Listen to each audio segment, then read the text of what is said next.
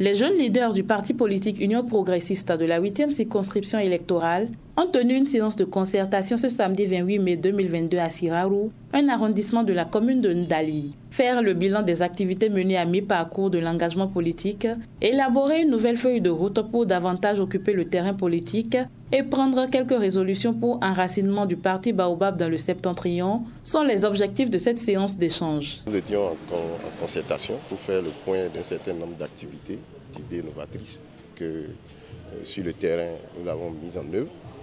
Le point a été fait par les différents coordonnateurs des différentes régions de Paracou. Beaucoup de choses ont été faites, et principalement au niveau de la démarche de la mise en œuvre des, stratégies politiques. On, veut, on, veut, rompre avec les sentiers battus. Beaucoup d'activités ont été menées envers les militants de différents quartiers de, la ville de Paracou. Et c'est ce point-là qu'on est venu faire pour savoir comment les activités évoluent, qu'est-ce qu'il faut corriger pour pouvoir mieux euh, mettre en œuvre ces activités dans, dans, le futur. On s'est donné rendez-vous dans la commune de Ndali pour que nous puissions prendre des résolutions suite à certaines personnes qui ont tenu des propos sur le travail que nous abattons sur le terrain de la 8e circonscription électorale. Et je vous affirme ceci, nous jeunes, nous allons arracher le pouvoir. Il est temps que nos aînés puissent se reposer.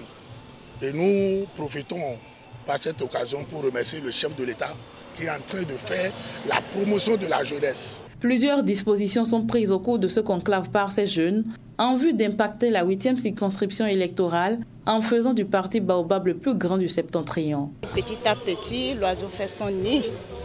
Je ne peux pas vous répondre concrètement que nous allons sortir quelque chose.